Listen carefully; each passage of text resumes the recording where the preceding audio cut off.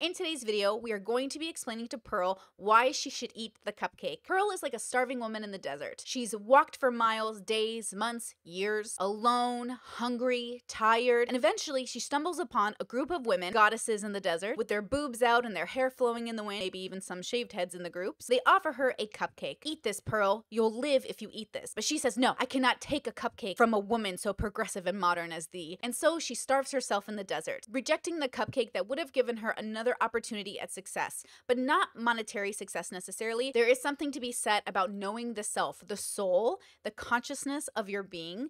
And Pearl obviously isn't having a great relationship with one. She doesn't seem to be incredibly religious. She doesn't seem to have connections to spirituality. She doesn't seem to think she has a soul. In some ways, that would make sense. I think she's a ginger, is she not? In all seriousness, Pearl is a real person and so am I. And I've made fun of Pearl in the past because when I see a bully bully, it makes me want to bully a bully. And I don't have a problem with that. We're both grown women.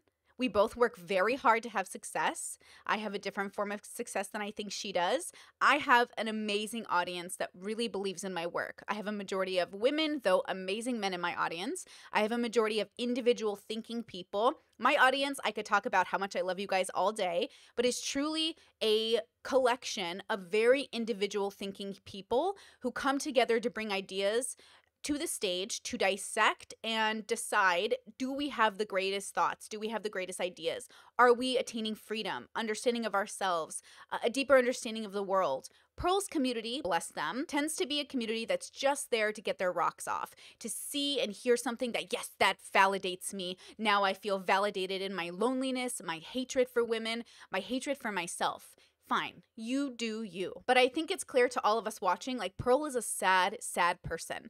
And if Pearl ever came to me as a caller, I would never tell a soul, Pearl, if you want to become one of my callers, I will help you. I will help you. I am better than self help. I am better than it. That should be my new tagline better than self help. Even better than self help. I want to help people find and have a relationship with their joy and their consciousness. And right now, I'm not seeing it in this woman. This woman spends her career, her life, her energy doing the same thing I'm doing, but then talking shit on her own work. She says, don't be independent. Don't make your own money. Don't exercise your right to vote. She is so self pitying, such a pick me, so, so sad that she doesn't even realize she's self sabotaging. Or maybe she does, and that's her form of masochism. Look, I'm a masochist too, but I usually like to utilize my pain for some sense of control and a deeper understanding of myself.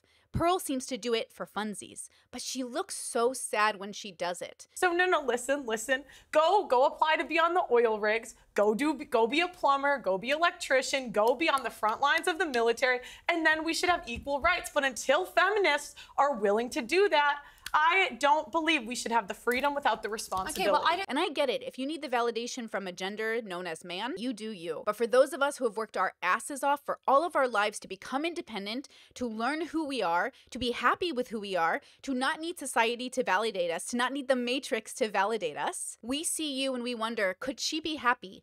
If she just ate the cupcake, could she be happier than this? That's what I'm wondering about a Pearl, somebody like Pearl. Because look, even the conservatives I know, the devout Catholics that I know, the modest women I know who don't love my OnlyFans, who don't love my work, who are wishing I would be more modest, they want the right to vote. They want the right to work. They want the right to be stay at home moms. They want the right to be there for their husbands and children.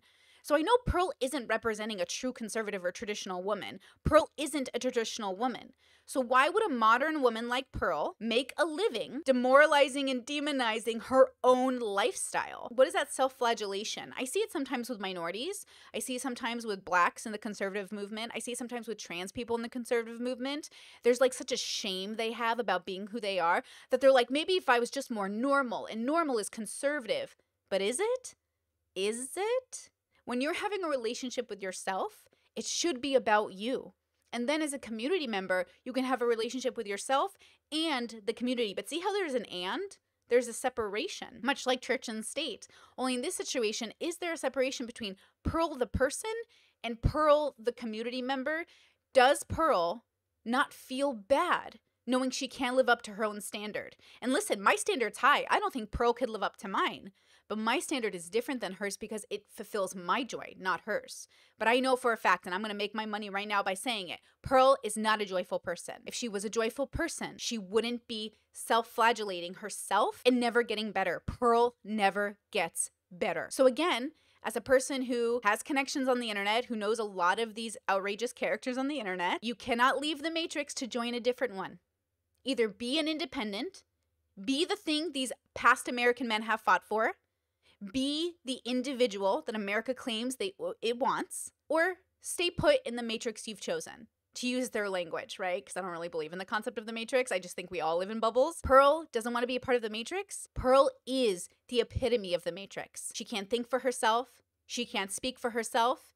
She's so self sabotaging, she doesn't even know she's stabbing herself slowly in the chest. Or you could, crazy, eat the cupcake. If you find yourself in a situation where you are genuinely wondering, as a woman, what is my obligation to the world? Your obligation as a woman doesn't exist. It's your obligation as a human. And you have an obligation to be good to yourself first. And then you can work on being good to the world. Just like Jordan Peterson says, another person I don't agree with clean your room first. Don't be like Pearl, who doesn't even know how to be kind to herself, right? So, of course, she can't show kindness to the rest of the world. Of course, Pearl can't be kind to the world. She hasn't even learned how to be kind to herself. Do you know what I'm saying? It is so easy for me to be petty. It is so easy for me to get on here and tell Pearl, like, just show your boobs more. But ultimately, I want you to be happy, even if it's as a modest woman, even if you want to be traditional. There are ways to do that. There are religious and Catholic bubbles, Muslim bubbles that will welcome women who have slept around, who have done OnlyFans, back into their arms. If Pearl wants to be a traditional woman, there is a bubble for her. But I don't think that's what she needs. I think she's afraid of what she wants and what she needs because it's not what she thought it would be. And that happened to me when I went to therapy and I thought, oh, this is my joy. This is my joy. This is my joy. My joy looked so different than I thought it would. But I am so glad that I chose joy over what I thought I needed because what I thought I needed was wrong.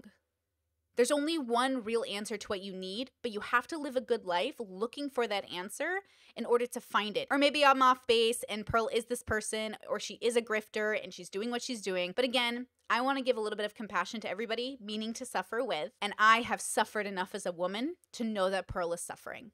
Stuck in my head, in real life I'm in bed, my belly's being fed and I'm okay. I'm just fine,